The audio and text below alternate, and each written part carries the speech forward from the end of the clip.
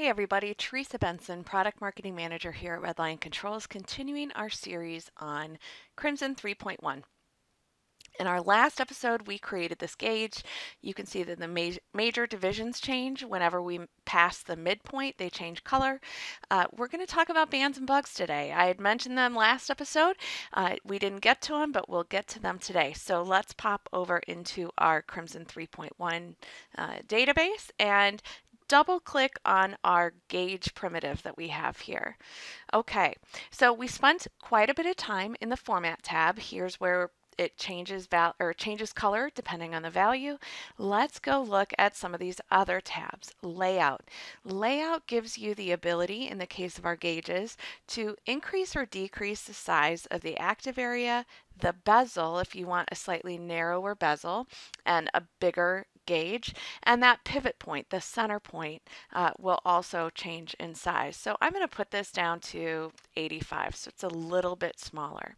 Style this is where you can actually change the type of gauge that you picked. So maybe you started out and you really liked that chrome one but now instead you want our medium gauge instead, or maybe our naked gauge, which is something that you might put over as an overlay something else.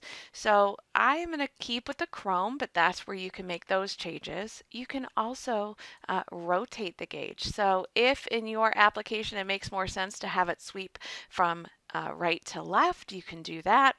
Uh, you can do any number of things. So uh, let's now talk about bands and bugs. Bands and bugs are a great visual to show your operator particular uh, like sweet spots that they want to keep a value in or keep out areas um, where your set points might be, that sort of thing. And here's how we make those work. We enable a band. So I've enabled this band right here.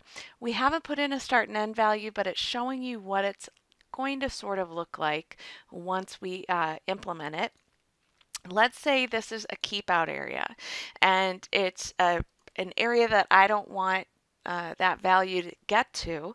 Um, and it's anywhere from 80 to 100. In our example, um, this gauge goes from 0 to 100. And so maybe at 80 to 100, that's, you know, an area, an area I really don't want that needle to get to. So that's how I might use a band.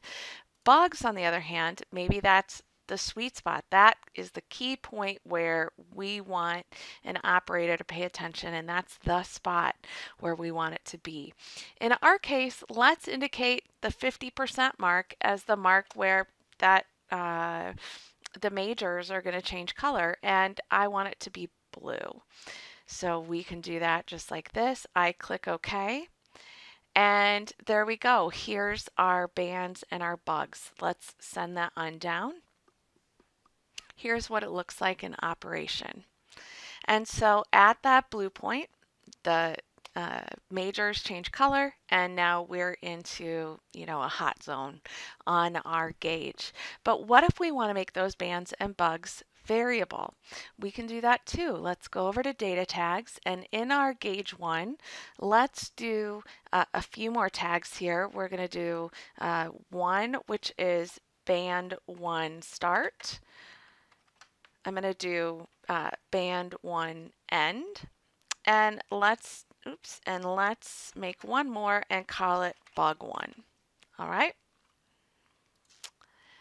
Come back in here and we'll change the bug to be gauge one dot bug one. All right now if I just type bug one let's see what happens. I'm going to type bug one Crimson doesn't recognize that bug1 is a data tag, and that's because once we start organizing in folders, you put the folder name, dot, and then the tag name. You can have nested folders, so you might have gauge1 dot pressure dot bug1. But in this case, I'm going to hit escape and I'll type that in myself. So gauge1 dot bug1. I could have also just as easily uh, been in here and double clicked and there we go. Uh, let's go to bands and band one start. I'll click in here and do band one start. and band one end. Okay. Now the last thing we need to do is give our user a way to update that on screen. So I'm going to drag these three things onto the screen.